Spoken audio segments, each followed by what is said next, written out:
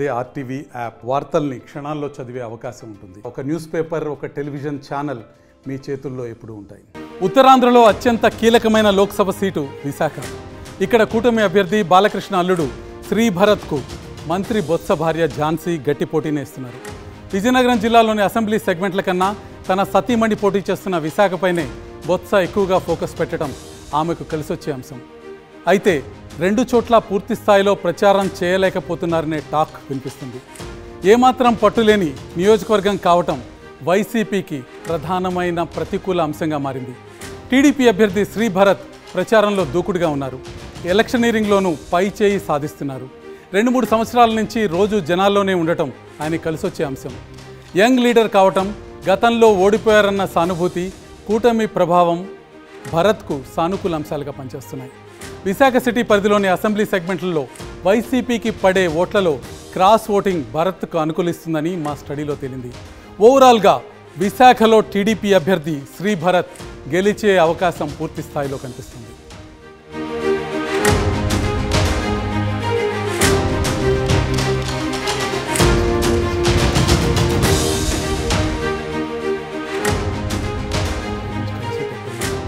Vizianagaram parliament సీటులో YCP నుంచి sitting MP Bellana Chandrasekhar మరోసారి పోటీ చేస్తున్నారు.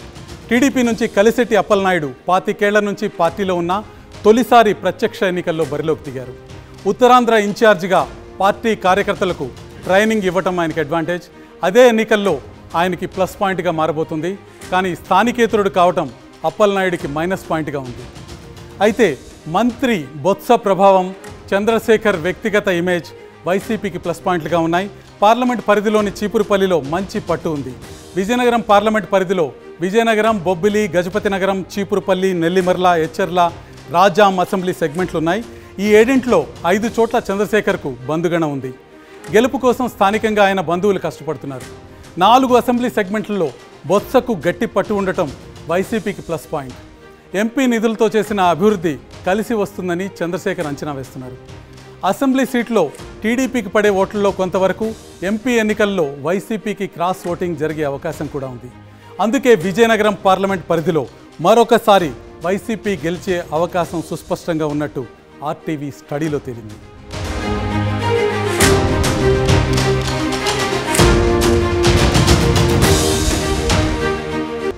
ఇక అరకు లోక్సభ సీట్లో బీజేపీ అభ్యర్థి కొత్తపల్లి గీత వైసీపీ అభ్యర్థి శెట్టి తనుజారాణి పోటీ పడుతున్నారు. ఏజెన్సీ ప్రాంతంలో డాక్టర్గా పనిచేయటం తనుజారాణికి ప్లస్ పాయింట్. ఆమెకు వ్యక్తిగతంగా క్లీన్ ఇమేజ్ ఉంది. అయితే తనుజారాణి మామ వైసీపీ ఎమ్మెల్యే శెట్టి ఫల్గుణపై ఆరోపణలు ఆమెకు మైనస్ పాయింట్గా ఉన్నాయి. బీజేపీ అభ్యర్థి కొత్తపల్లి గీతకు పార్టీ పెద్దల అండ పుష్కలంగా కనిపిస్తుంది. గీత సామాజిక వర్గంపై వివాదం మాత్రం మైనస్ పాయింట్గా ఉంది. ఆర్థికంగా బలంగా ఉండటం మరో ప్లస్ పాయింట్. భూ కబ్జా చెక్ బౌన్స్ కేసులు కొత్తపల్లి గీతకు మైనస్ పాయింట్. ఎన్నికలు ఎంత త్వరగా జరిగితే వైసీపీకి ఇక్కడ అంత మంచిదనే టాక్ నడుస్తుంది. ఎందుకంటే కూటమి బలం ఇక్కడ రోజురోజుకి పెరుగుతోంది. ప్రస్తుతానికి వైసీపీ అభ్యర్థి తనూజారాణికే ఎడ్జ్ కనిపిస్తోంది. తనూజారాణిదే విజయమని ఆర్టీవీ స్టడీ చెప్తోంది.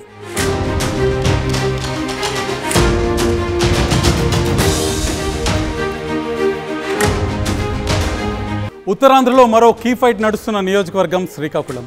టీడీపీ నుంచి కింజరాపు రామ్మోహన్ నాయుడు వైసీపీ నుంచి పేరాడ తిలక్ ఇక్కడి నుంచి పోటీ చేస్తున్నారు. ఎర్రనాయుడు లెగసీ సొంత ఇమేజ్ రామ్మోహన్ నాయుడికి కలిసొచ్చే అంశాలు. వైసీపీ అభ్యర్థి పేరాడ తిలక్ కాళింగ సామాజిక వర్గం కావటం సానుకూలంగా మారింది. మెజార్టీ అసెంబ్లీ సెగ్మెంట్లలో మూడు లక్షల వరకు కాళింగ ఓటర్లే ఉన్నారు. గతంలో రెండుసార్లు ఓడిపోయారన్న సానుభూతి కూడా తిలక్ పైన ఉంది. రాజకీయంగా బాగా యాక్టివ్గా ఉండే రామ్మోహన్ నాయుడుని తిలక్ ఢీకొట్టలేరనే టాక్ కూడా ఇక్కడ వినిపిస్తుంది. ఈక్వేషన్స్ అన్నీ పరిశీలిస్తే రామ్మోహన్ నాయుడికి ఎడ్జ్ స్పష్టంగా ఉందని మా స్టడీలో తేలింది. కాబట్టి శ్రీకాకుళం నియోజకవర్గంలో తెలుగుదేశం అభ్యర్థి రామ్మోహన్ నాయుడు తిరుగులేని విజయం సాధించబోతున్నారు.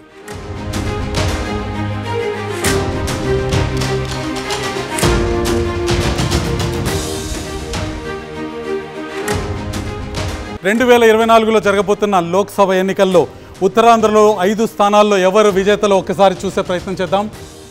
వైసీపీ రెండు స్థానాలకి సరిపెట్టుకునే పరిస్థితి కనిపిస్తుంది. తెలుగుదేశం రెండు స్థానాల్లోనూ భారతీయ జనతా పార్టీ ఒక్క స్థానాల్లోనూ విజయ కేతనం ఎగరవేసే పరిస్థితి కనిపిస్తుంది.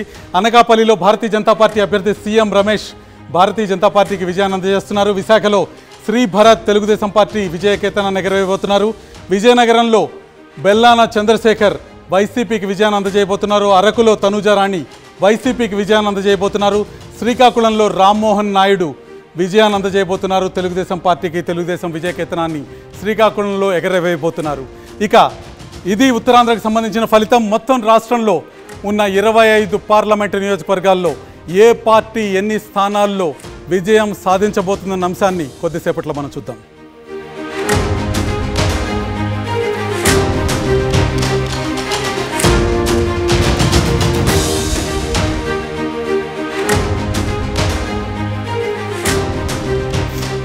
రెండు వేల ఇరవై నాలుగులో మరికొద్ది రోజుల్లో మరికొద్ది గంటల్లో జరగబోతున్న లోక్సభ ఎన్నికల్లో విజేతలు ఎవరన్న అంశం గురించి దశల వారీగా ఆర్టీవీ స్టడీ నిర్వహించింది.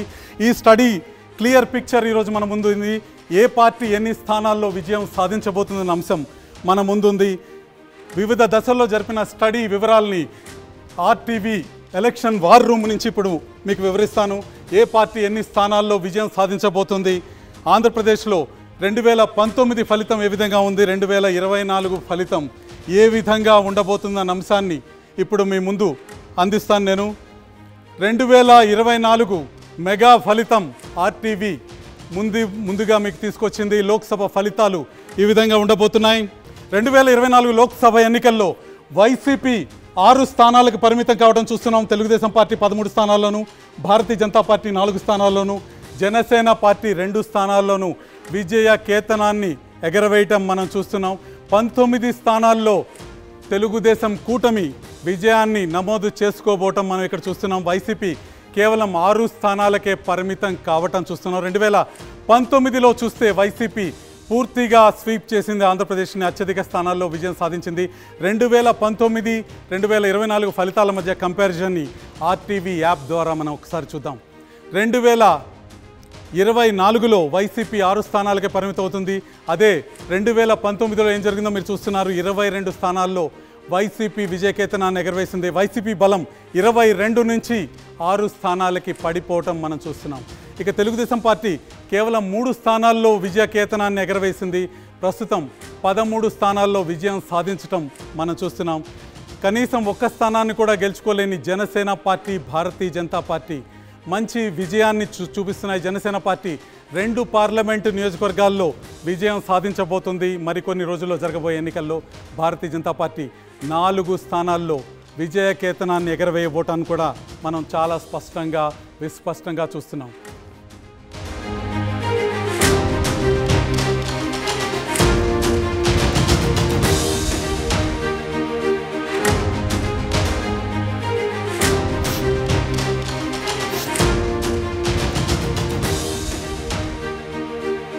ఆంధ్రప్రదేశ్ లోక్సభ ఎన్నికల్లో ఎవరు పై చేయి సాధిస్తారో మేము మీకు చూపించాం. కానీ ఇక్కడితో మా అధ్యయనం ముగేయలేదు. ఓటింగ్ టైంలోనూ ప్రతి సీట్పై మా టీం ఒక కన్నేసి పెడుతుంది. ఓటింగ్ తర్వాత కూడా ఎక్కడ ఎవరు గెలుస్తారో అప్డేట్ చేస్తూనే ఉంటాం. మే పదమూడు తర్వాత పోస్ట్ పోల్ స్టడీతో మళ్ళీ మీ ముందుకు వస్తాం. అప్పటి వరకు ఆర్టీవీ లైవ్ యాప్ని డౌన్లోడ్ చేసుకోండి ప్రతి అప్డేట్ గురించి తెలుసుకోండి. ఆ ఫైనల్ గేమ్ చేంజర్ కోసం ఆర్టీవీని ఫాలో అవుతూ ఉండండి. సెలవు.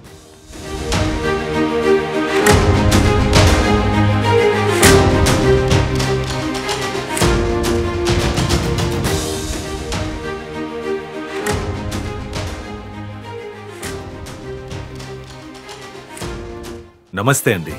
ఇది వ్యాపారం గురించి కాదు ఓటు గురించి. ఎన్నికల్లో ఓటు వేయడం మన హక్కు మాత్రమే కాదు. కర్తవ్యం. ఎంతో మంది మహామహా నేతలు శ్రమించి ప్రాణత్యాగం చేసి ఈ అవకాశాన్ని మనకిప్పించారు. అందరూ ఓటు వేద్దాం. ఎందుకంటే ఓటు హక్కు ఊరికే రాదు. నా ఓటు ఎవరికో తెలుసా? అది సీక్రెట్ అండి.